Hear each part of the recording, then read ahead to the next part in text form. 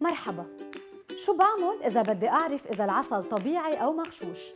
هالسؤال كنا طرحناه عبر مواقع التواصل الاجتماعي الخاصة بال LBCI صوتوا على الإجابات التالية. بدوب العسل بالمي.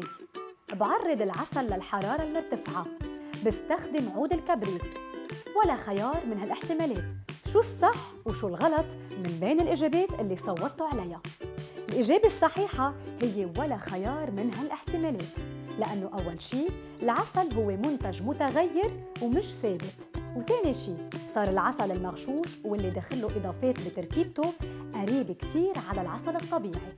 ولهيك الاختصاصيين بعالم النحل والعسل بيقدموا لك هالنصايح.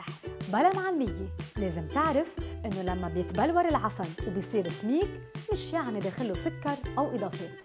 وسبب التبلور هو تعرض العسل لحرارة أقل من 20 درجة.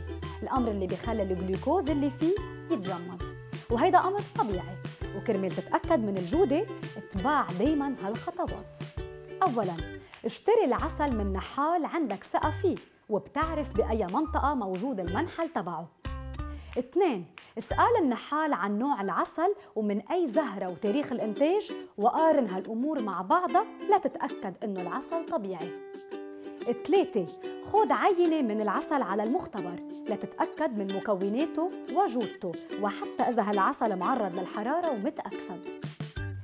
بلا معلمية قدم لك نصايح الاختصاصيين بهالمجال ولتريح راسك اتعرف على نحال بتوثق فيه وبإنتاجه ودايما اشتري العسل منه.